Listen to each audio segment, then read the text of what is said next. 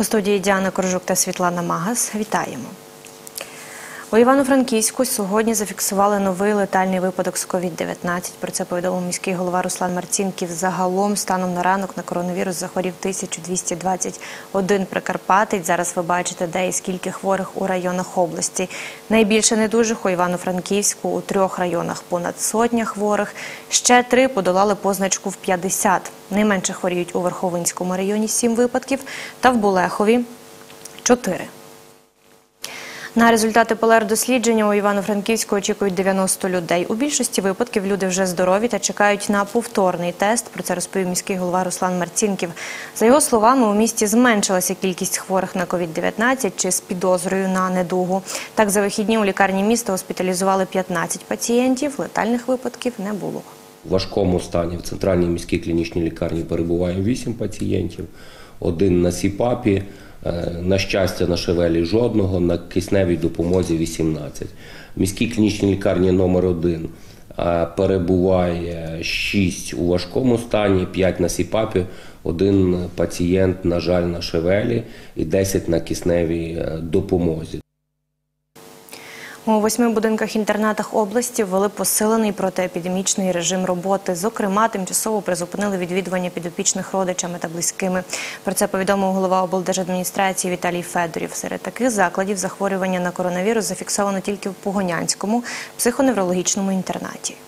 Інтернатні заклади направду е, реально забезпечені достатній кількості медичними масками, рукавичками, захисними костюмами, антисептиками, безконтактними термометрами, експрес-тестами та деззасоби із змістом спирту.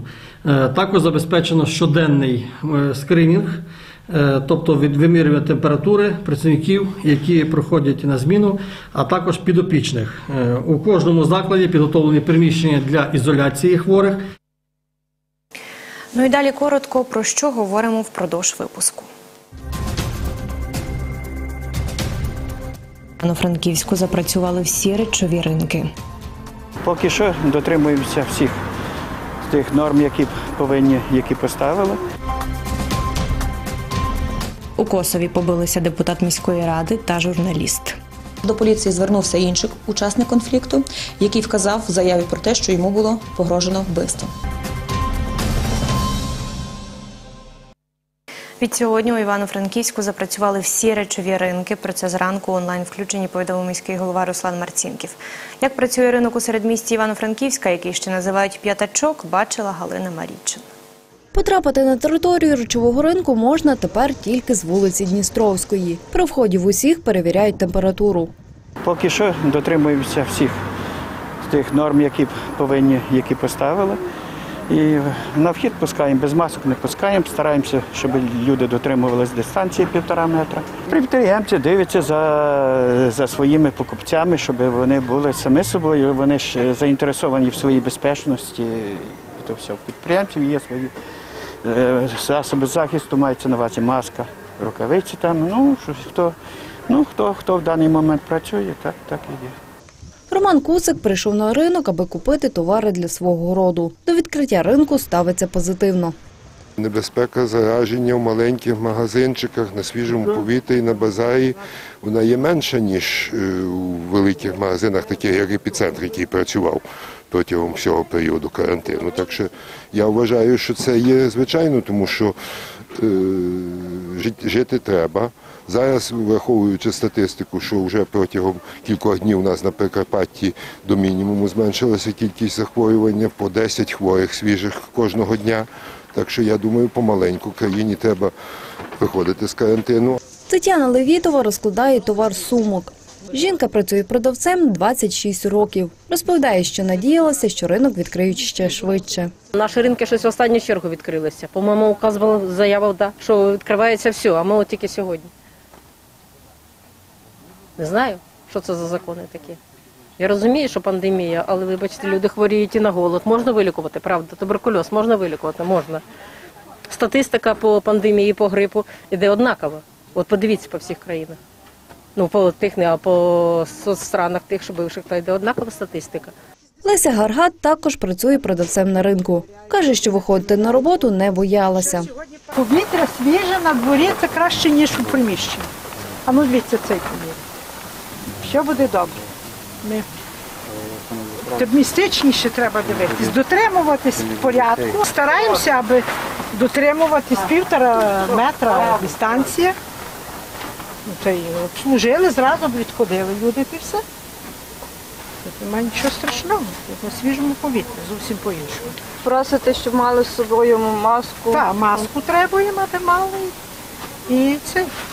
І дотримуватись дистанції. Проте не всі торгові місця на ринку відкриті. Деякі продавці та підприємці, що не з Івано-Франківська, поки не запрацювали. Про те, що всі ринки в місті запрацювали сьогодні під час онлайн-включення, розповів міський голова Івано-Франківська Руслан Марцінків. Нагадаю, усі ринки призупинили роботу 17 квітня. З 30 квітня у Івано-Франківську запрацював центральний продуктовий ринок. А з 15 травня в місті запрацював великий промисловий ринок на межах вулиць Хотинської, Новгородської та Тичини, який ще називають п'яний базар. Також 15 травня Кабінет міністрів України ухвалив рішення дозволити роботу непродовольчих ринків з дотримання усіх санітарних вимог. Галина Морічина, Андрій Шостакевич. Новини на Суспільному. Івано-Франківськ. На Прикарпатті 66 медичних закладів підписали службою здоров'я України станом на 1 квітня. Про це на брифінгу повідомив голова облдержадміністрації Віталій Федорів. Контракти дозволять закладам охорони здоров'я отримувати надбавки, які анонсували МОЗ та уряд. Серед медзакладів, які уклали контракти, 64 знаходяться у комунальній власності і один у приватній. Також законтрактовано один заклад екстреної медичної допомоги. Найбільше пакетів медичних послуг отримали Надвірнянська центральна районна лікарня, саме 20, Коломийська отримала 17, Івано-Франківська центральна міська е, клінічна лікарня 15, Городенківська центральна районна лікарня 13, Івано-Франківська міська лікарня і Калуська центральна е, Івано-Франківська е, номер 1 і Калуська центральна районна лікарня по 12 і Борочанська центральна районна лікарня 11.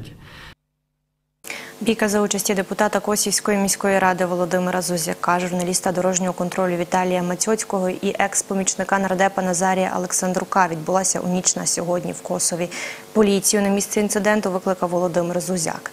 Докладніше в сюжеті Оксани Василик.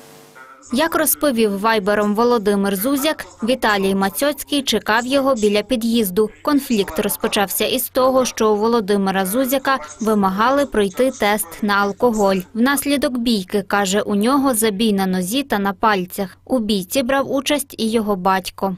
Я побачив, е, що зверху спускається особа, не знаю, що у тої особи було в руках. А у Віталія Мацьоцького був е, пістолет Макарова у руках.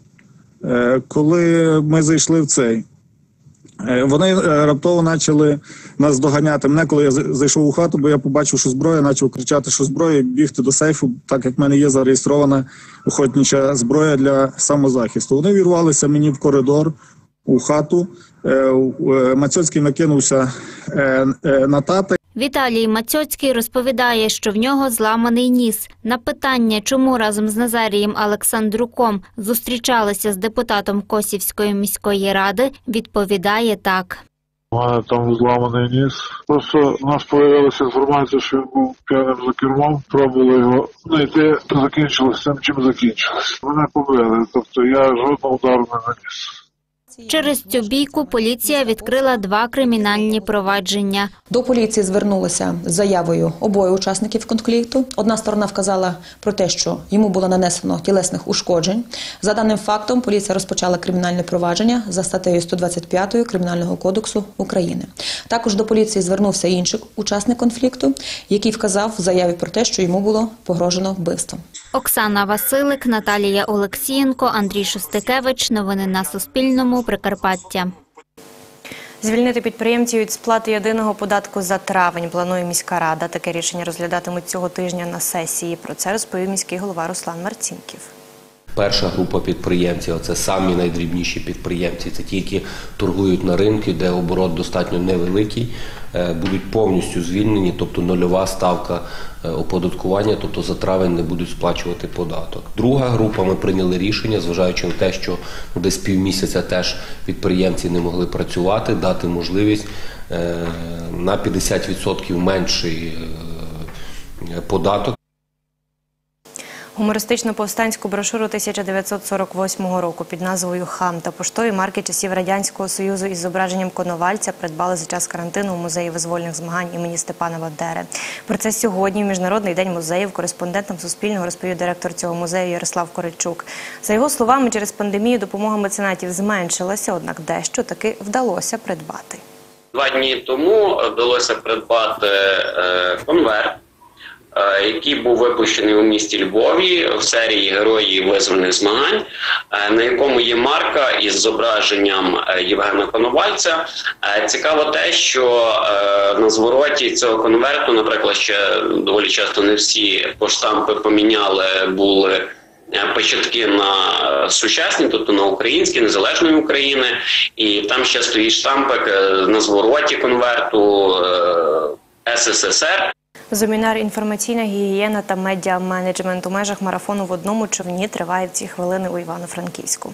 Організатор заходу Ярослав Мінкін каже, крім сьогоднішнього семінару, будуть ще три, під час яких розповідатимуть про різні навички від стресостійкості до цифрового маркетингу. Таким чином хочуть допомогти тим людям, які втратили роботу через карантин. це онлайн лекції, на яких ми ділимося різними корисними для людей е, інструментами. Е, це може бути про те, як бізнесу е, перейти в онлайн і продавати щось е, в соціальних мережах. Також ми хочемо допомагати людям, щоб вони знайшли собі якусь нову роботу, знаходили собі нові можливості, займалися саморозвитком і навчанням. Це остання інформація в цьому випуску. Я поки прощаюсь. Ну вам бажаю вдалого вечора та хороших новин.